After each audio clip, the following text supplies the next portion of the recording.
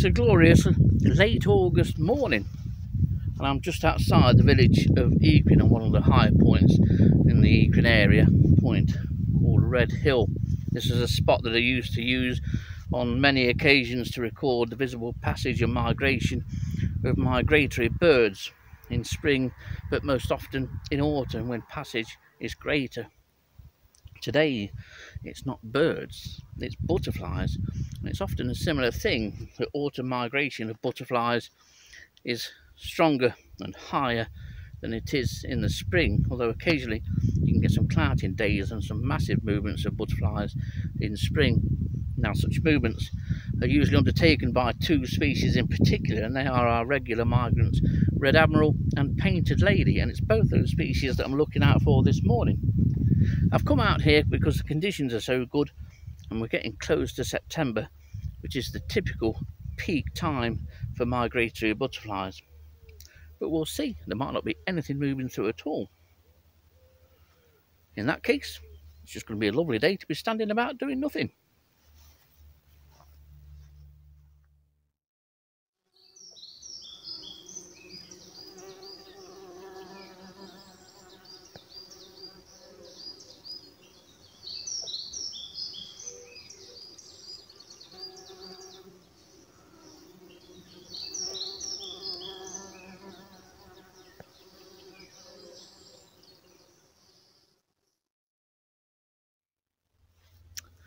So, just what does all this malarkey involve then, this butterfly migration?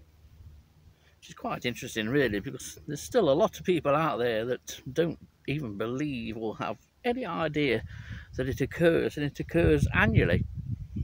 Of course, in the spring there can be some massive movements, especially of painted lady. That's usually the, the big spring species every sort of 10 15 years or so there's a massive northerly movement throughout Europe right away from Africa throughout Europe and reaching the UK spectacular days ensue when that's going on.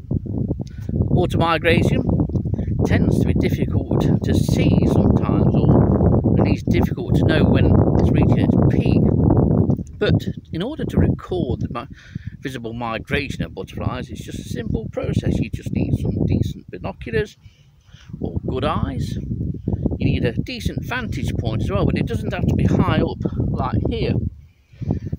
I've always used this higher elevated point of Eakring because I found that butterfly migration is higher up here than it is lower down in Eakring Flash and between Eakring Flash and Lound Wood, that area there. There's always more up here. But whatever you need, you need an open vista. I've got a good view of about 200 yards over to the camera's left and similarly downhill here about the same amount to the camera's right. Uh, this slopes down so I tend to stand up that way I'm looking along the level of the ground. Now most butterflies are red admirals, painted ladies, clouded yellows and large whites will fly between about a foot off the ground and about four feet off the ground. If you're low to the ground level, it makes them easier to spot against the background sky or whatever background you've got. And if you've got a site that has a hedge or some kind of border running north to south, that's often a good thing to have because butterflies will use those kind of routes to fly alongside or in the leaves of. Today potentially is an excellent day because we've got a light northeasterly breeze. It's really nice actually because it's very warm today already. It's just a case then, standing, scanning with binoculars, looking with the eyes. Give it an hour. If nothing's gone through or very little, you can pack up and go and do something else. You've not sort of lost a great chunk out of your life if you've seen one or two butterflies moving through there in that first hour, typically from sort of at 10 o'clock onwards, then often it can be worth sticking around. Now, I've been here about 20 minutes, and the species that's moving through actually is large white. I've had four go through. Large white is one of those species people would say, well, they're just local butterflies, but they're not.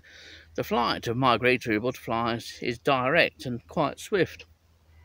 That's something you learn with experience. So we'll see if anything else comes through.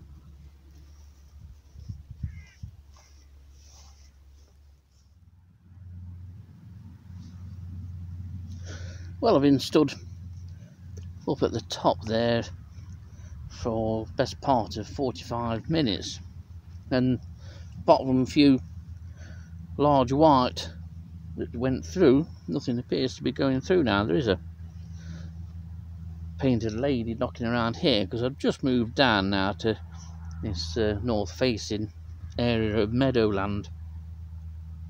And there's quite a lot of flowers here. I'm just having a look to see if anything is just pausing to nectar at these flowers, but it appears very quiet. I'm quite surprised actually. I would have thought some things would have gone through.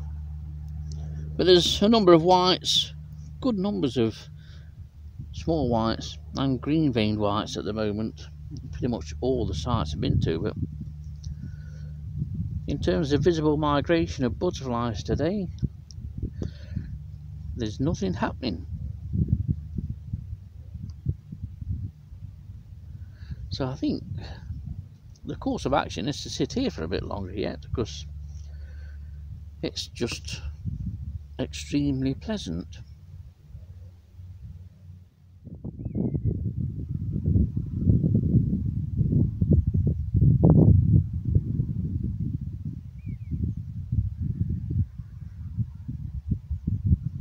It's amazing how many buzzards there are in the Eakring area and well throughout Nottinghamshire now so many. It's the commonest raptor. Far easier to see buzzard than it is sparrow, hawk, or kestrel. How times have changed. But I've just had 20 minutes conversation with Jim, who farms 250 acres in the Eakring area, including where I am now. It's nice to know that he's still able to grind out a living despite everything, the increase in costs. And the plans that they have this year is for a lot of the land to be fallow. But this is a very wildlife friendly farming concern, much more wildlife friendly than I thought. And on all the videos on this channel, I mentioned how wildlife friendly they are. And I've, in particular, I've mentioned an area set aside at Lound Wood, and that is permanent set aside. It's been there over 10 years now, apparently. But they have two other areas like that. It's tremendous what they're doing. But there's no oilseed rape. Jim's not growing any oilseed rape because there's no money in it at the moment. Not unless you can sort of grow it efficiently and productively. And there are sort of a variety of methods. One larger farming concern apparently is very good at it, but to Jim it's not worth doing it. But it's nice that a lot of his land this year is going to be fallow, and then for the next two years it'll be wheat. But there's an indication of how wildlife friendly they are. The hedgerows are only cut sort of once every two or three years. I can remember this one being planted not that many years ago. And it's made a cracking hedge. You can still be wildlife friendly and earn a living in farming, but that's something that you rarely hear anything about. They never interview farmers on breakfast television in the morning and the farmer saying, I've made too much money last year, I don't know what to do with it. Everything is always doom and gloom. When really that's not the entire picture that we're fed and given. One of the problems with oilseed rape production for a small farm is say it's the productivity. And of course you never know from year to year how it's going to grow. You need to have a crystal ball with farming, really, because you have to plan, and it's a complete risk a year in advance for you to know what to grow. But there again, you're at the mercy of the weather.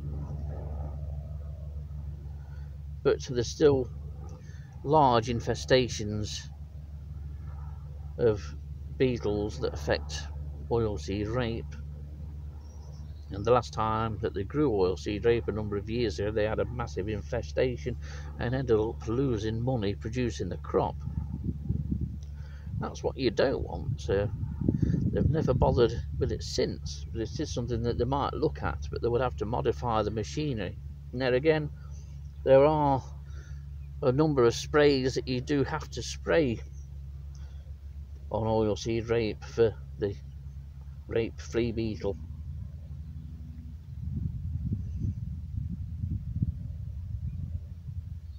Don't like the use of pesticides, but fortunately it is still allowed, but at least the nicotinoidal sprays seem to have stopped, at least for Jim.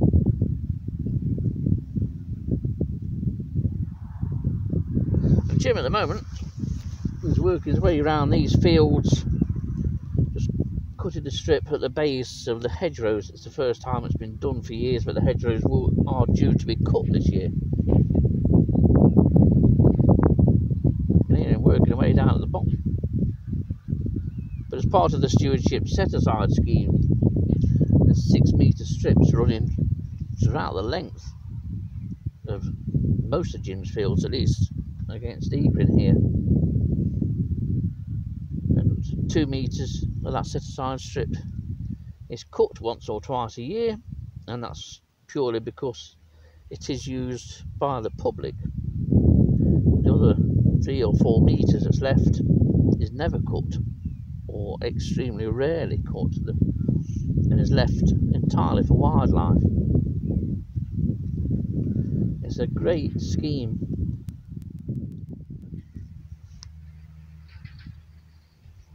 And this is a cracking bit of meadowland. And there's no plans for it ever to go and be used for something else. Thankfully, its method of cutting remains the same, cut in three parts, and that's done every year and then grazed by sheep for a period of time over the winter months.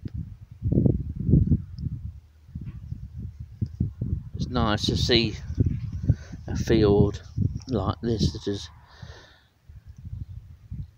cut in the traditional manner.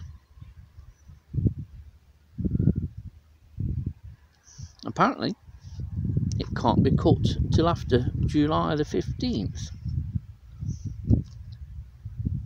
And that, by all accounts, is every year now, and it's, as far as I'm aware, it could be any date after July the 15th.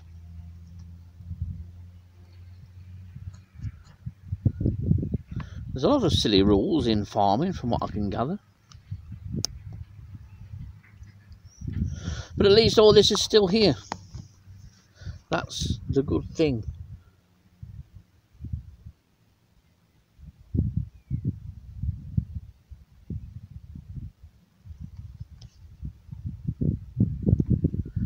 Long may it remain here.